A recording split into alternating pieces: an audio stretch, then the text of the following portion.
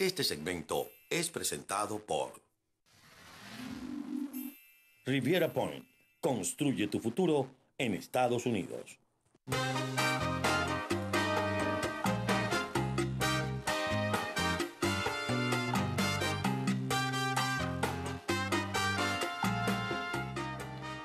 Continuamos con JJ Rendón, estratega general, consultor político, activista pro democracia. ¿Tú me querías añadir algo? Sí, que, además la línea de mando en Nicaragua no quedó estructurada de manera tal que si el presidente se enfermaba o se moría o lo que pasa, quien lo suceda eh, tenga una imagen o tenga un liderazgo que se haya preparado con tiempo.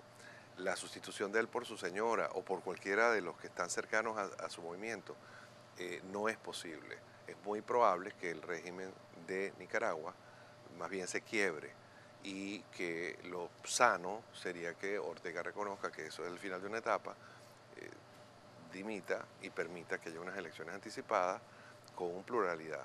La de, lo que más lo afectó es la dependencia de Venezuela. Todos los programas sociales que tenían los tenían basados en las ayudas que les llegaban. Al no tener las ayudas más y la economía estar complicada como lo está en Nicaragua, todas las corruptelas que eran parte del sistema de complicidades que tenían en Nicaragua salen a flote y el sistema entonces colapsa y la gente no se la va a aguantar. Voy a... Voy a... Y eso le puede pasar a todos. Sí. A todos los que dependían de eso, que eran países pequeños, que tenían esa dependencia, les quitan la ayuda. Voy a pasar a Colombia. Uh -huh. Colombia, eh, hay unas declaraciones de Duque que eh, denunciaré al dictador Maduro ante la Corte Penal Internacional es el que luce hasta ahora como posible ganador de la contienda electoral. Sería una situación fuerte frente al gobierno de Maduro. ¿Cómo ves? Bueno, sería una situación fuerte frente al gobierno de Maduro y conveniente para nosotros como venezolanos. Mm. Tener un gobierno en Colombia que entiende lo que pasa en Venezuela, lo pone con su nombre completo, dictadura, autoritarismo, violación de derechos humanos, o sea, lo dice clarito, y además eh, que eh, nos permitiría tener una posición distinta en el, el, Concierto Internacional de Naciones, en la OEA, en la ONU, en todas partes. Sin embargo, yo no estoy tan confiado con que esa elección se terminó. Así como te decía, Andrés Manuel lo ha ganado, te diría Duque tampoco ha ganado todavía. ¿Por qué? Porque cuando tú ves a Piedad Córdoba, a la FARC, que dice yo me repliego, y uno dice, bueno, la FARC no tendría ningún soporte ciudadano. No, está, tiene un alto nivel de rechazo, pero yo no tengo ninguna duda que en Colombia 5, 6%, 7%, algo como eso, en algún momento tuvo la FARC de apoyo. Y Piedad Córdoba se retiró del proceso, sí, pero tenía 1 o 2%. Y si ves el bloque de candidatos de lo que se llamaría la izquierda dura o la izquierda moderada, uh -huh. eh, si se aliaran, acuérdate que en Colombia hay segunda vuelta. Claro que sí. Y lograran armar una coalición, la, la, la presidencia de Duque estaría en peligro. Entonces, ¿qué tienen que hacer ahorita los bloques? Que lo está haciendo el grupo de izquierda muy bien, no se pelean entre ellos.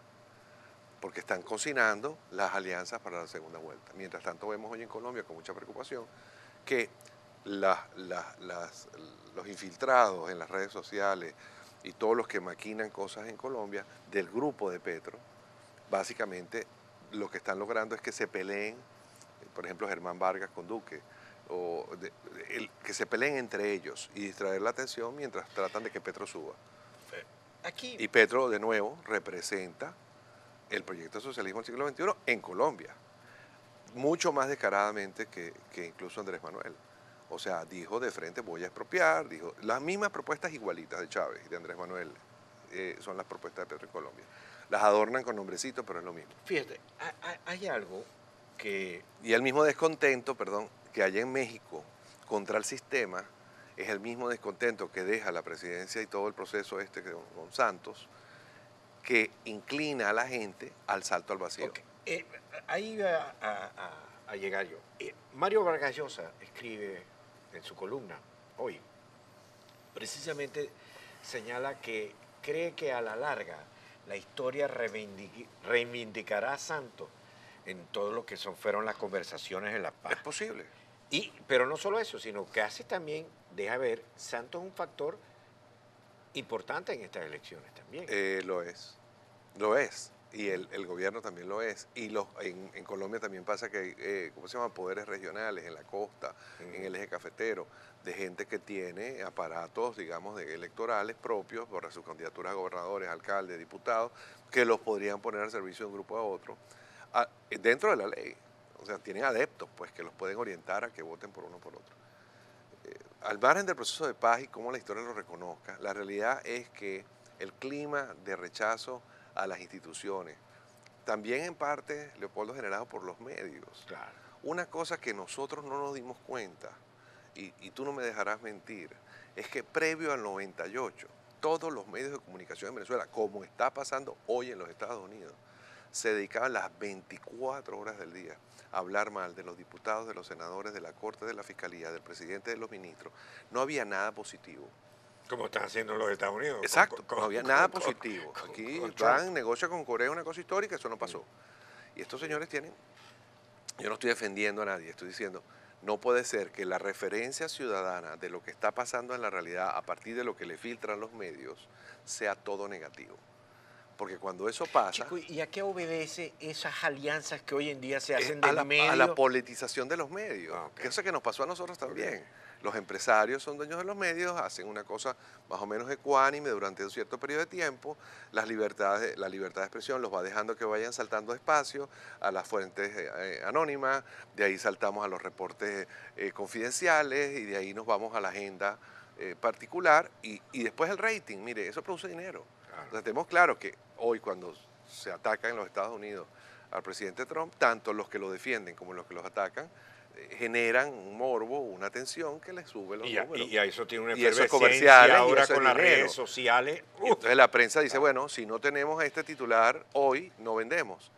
Está la venta de una, del periódico o el rating de una televisora por encima de mantener un cierto aprecio por la democracia. ¿Cuánto vale el show?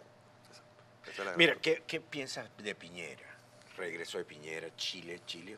Chile está jugando una posición Sí, interesante. sí, sí, sí. Y yo creo que, que Piñera va a jugar un papel tan importante como el que ha jugado Macri eh, y como el que jugó en su momento también Peña Nieto. Acordemos que México rompió la doctrina Estrada para intervenir con el canciller Videgaray en el tema de los derechos humanos de Venezuela, que es una ruptura a su tradición histórica de no intervención en ninguna causa, en ningún problema de otro país.